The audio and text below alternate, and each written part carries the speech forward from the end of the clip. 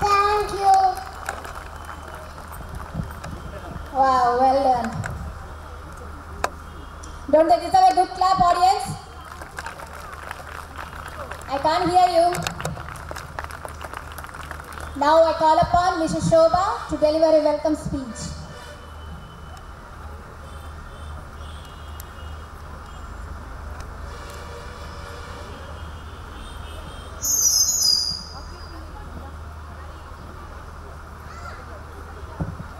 Good evening, ladies and gentlemen, dignitaries, invited guests, colleagues, and my wonderful talented kids.